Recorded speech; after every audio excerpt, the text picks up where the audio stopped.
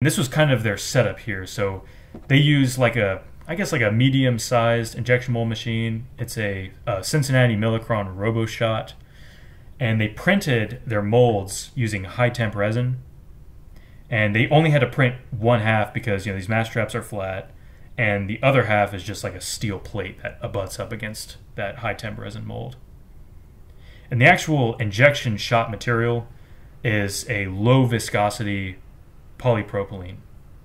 It's also called high melt flow. It, it's so low viscosity it flows almost like water. And so these were some of the conditions that they found uh, after you know fine tuning this process. This is what they found.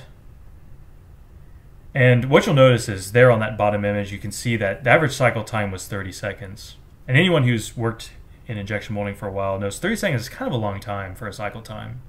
But the reason they had to go that route is because the mold is you know it's made of plastic, right? It's not made out of metal, and as such, it's not able to conduct heat away as easily, and so there's a lot of heat retention there, and so they have to leave the part in the mold for a little bit longer.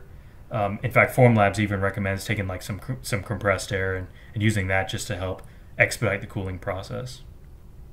But all said, Braskem was able to get on average 15 shots per mold um, I think they were uh, able to get up to like 2,500 at one point, but typically, you know, right around 1,500, what they they were kind of seeing there.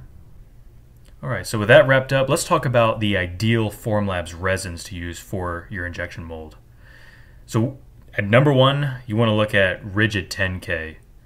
And if you don't have that, uh, a worthy substitute is that high temp resin. And then down at the bottom, use Grey Pro kind of as a last resort. And the reason we order it in that in that way is because of parameters like heat deflection temperature and tensile modulus. So you want to be able to resist the high temperatures of the molten plastic, uh, but also have that high tensile modulus so you can you can handle high pressures during the, the injection process.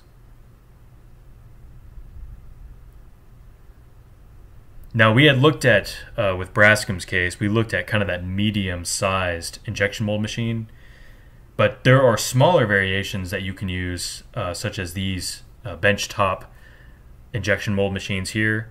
Uh, so they're, they're a lot more cost effective. Uh, but the only thing you have to consider, so uh, one thing I'll draw your attention to is like the three on the left here. Those are a manual injection mold. So that's that's you, you know uses a, a lever process, and then the two on the right are pneumatic.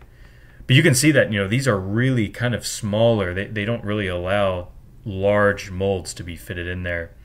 So if you don't really have access to something like this or access to you know a more expensive injection mold machine, um, then you can always use something like a syringe or use a gravity pour method. And this is actually what we did, and we're going to show our example here in just a moment.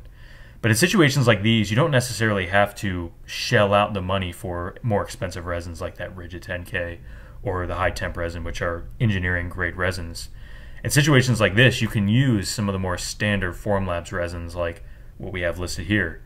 Black, white, gray resins, which are like your traditional standard resins, but also your clear and your draft resins as well.